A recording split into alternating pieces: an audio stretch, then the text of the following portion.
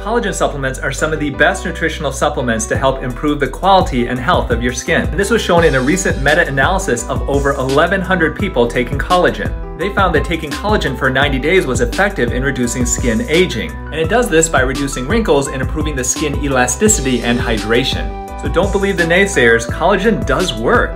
Now there are a lot of great brands out there of collagen supplements like Vital Proteins and Bulletproof, but full disclosure, I'm such a big fan of collagen that I have my own brand, Youn Health Supplemental Collagen.